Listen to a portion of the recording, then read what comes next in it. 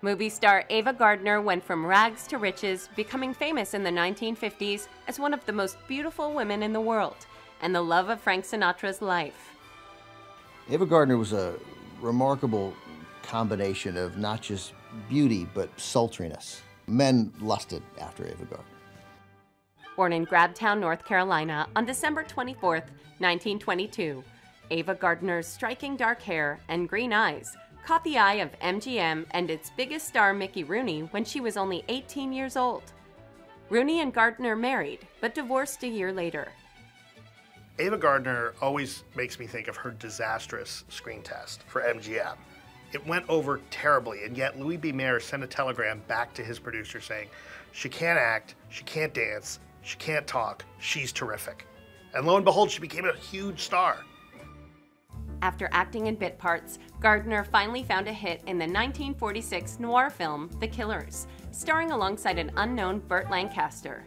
Gardner followed up with a string of femme fatale roles with co stars such as Clark Gable, Gregory Peck, and Tyrone Power. Ava Gardner was a fairly strong femme fatale character in, in film noirs because she would just sit there and look so sultry and beautiful without hardly doing anything.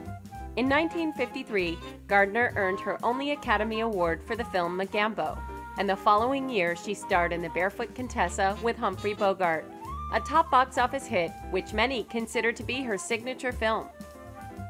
The great thing about The Barefoot Contessa is that when Ava Gardner was a kid, she ran around barefoot in North Carolina and Virginia. And then all of a sudden, here she is playing the Barefoot Contessa. It's perfect casting. I'm not sure Humphrey Bogart was perfect casting, but she was.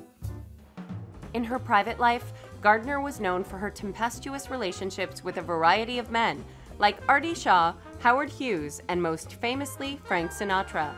The two married in 1951 and, after many reconciliations, eventually divorced in 1957.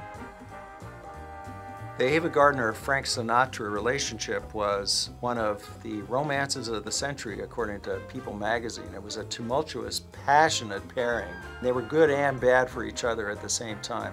It was her third and last marriage, and the crooner left his wife and children to be with Ava Gardner. After appearing in her final major role in the film The Night of the Iguana in 1964, Gardner continued to act sporadically and eventually moved to England. On January 25, 1990, Ava Gardner died from pneumonia at the age of 67. When people use the phrase the camera loves somebody, they're talking about Ava Gardner. She may not have been the best actress of all time. She may not have been a particularly great dancer, but the minute that camera rolled, you couldn't take your eyes off of her.